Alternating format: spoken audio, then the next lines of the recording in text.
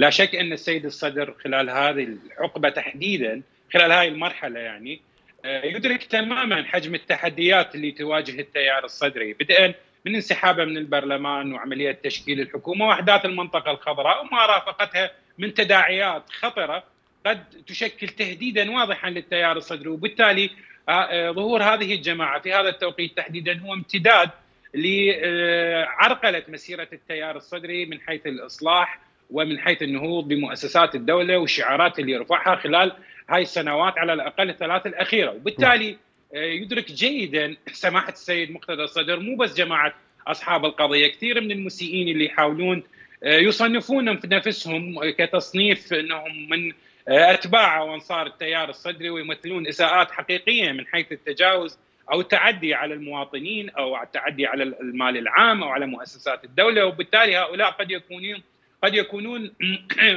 مدفوعين من قبل جماعات معينة لتشويه سمعة التيار وبالتالي بنشوف بين الفينة والأخرى التيار الصدري من قبل زعامة سماحة السيد مقتدى الصدر.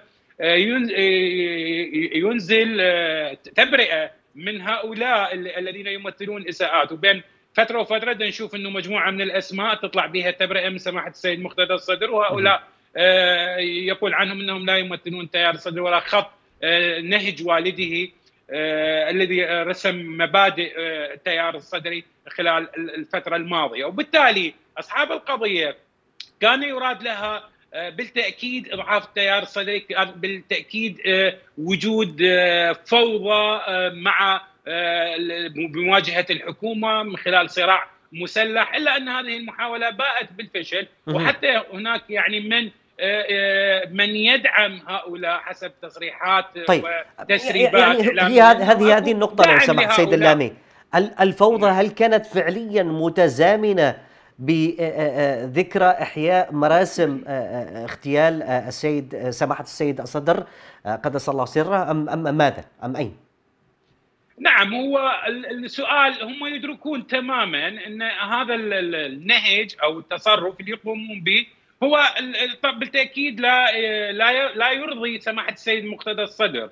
وبالتالي هم أرادوا أن يخلقوا هاي الفوضى تحديدا مع هذه المناسبة. لأن هم إذا كانوا من أتباع التيار الصدري بديهيا يعرفون شو يريد سماحة السيد مقتدى الصدر شنو الخط اللي دا يمشي عليه. ما معقولة يعني واحد منضم لتيار معين وما يعرف مبادئ هذا التيار والخط الفكري والعقائدي لهذا التيار. وبالتالي هم تصرفهم بهذه الطريقة. واضح لكل المراقبين والمتابعين طيب. بأنه كان التزامن هو لخلق إثارة مواجهة أو لإضعاف التيار الصدري أو تشويه خطه أو نهجه الفكري والعقائدي